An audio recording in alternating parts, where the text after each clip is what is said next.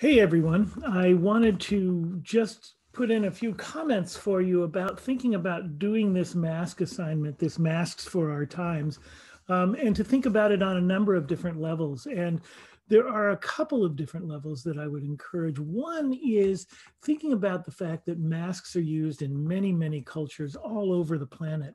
Um, and they're used for a lot of different reasons. Sometimes they're used as a kind of uniform or to identify a certain group of people or society. In some African cultures, they're, the masks uh, signify a kind of authority or kind of police person.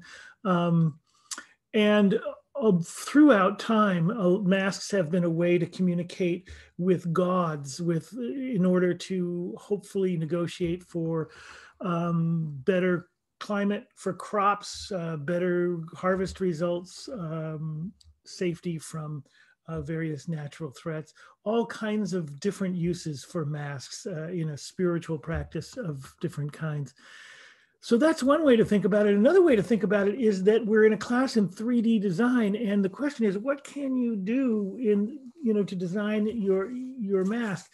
You know, first of all, just blocking the face somewhere, like doing something. How much of your face will be visible, or will none of it be visible? What will you do when you create your mask? Um, of course, the other thing is, for our times, we need masks that protect us from uh, COVID. So it is it's really the first time uh, in uh, I can remember that our culture has needed in the United States needed mandated masks. So when you do it, you do want to make something that you can be safe in because I want you to go then take pictures of yourself out in the world in your masks.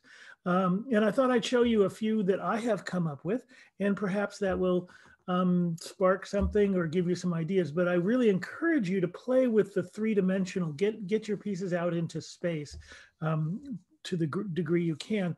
Here, uh, I would say you can always take care of the concern about is it safe or not by putting on something that you know gives you the protection you need. And nowadays, uh, there there are a lot of re recommendations for double masking because of the British variant, which is now um, getting more ubiquitous in our country, that is much more contagious. I know I live in Davis and we have um, identified a couple of cases already of that.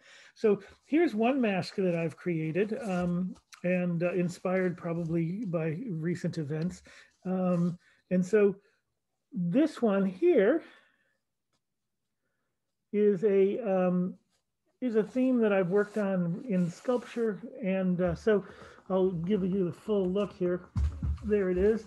There's the mask. So I've extended the face down um, by using, this is actually a flag that I purchased online and altered uh, for this mask. And the message being strongly uh, a house divided um, is the implication, referring to, of course, the, the famous expression by Abraham Lincoln that a house divided cannot stand. Um, uh, I think probably for me, uh, bo both as a citizen and as an artist, uh, the need for uh, some kind of a common ground, some kind of unity is clearly there.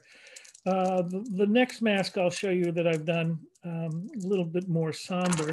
So again, um, let's put this up here. And then this one's a little trickier here.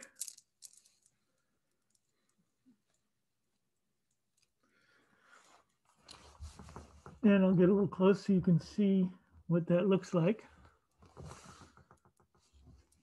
And what this is, these are uh, blood sample vials um, that I collected uh, at, a, at a, um, a surplus store years ago and have had around. And what I've done is I've screwed a little eye screw into the cap of each one here.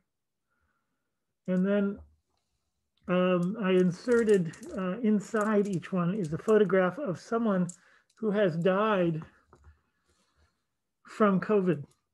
And uh, I think this was inspired by having conversations with people who felt that masks were not important. And I felt that this, this mask would be a great rebuttal saying, well, you know, these people disagree. Um, so um, that's the uh, that's the kind of the concept of this mask here. So just some ideas, some possibilities. Uh, I look forward to seeing what you come up with. And as always, just send me an email if you have any questions or comments. And I look forward to looking at your results.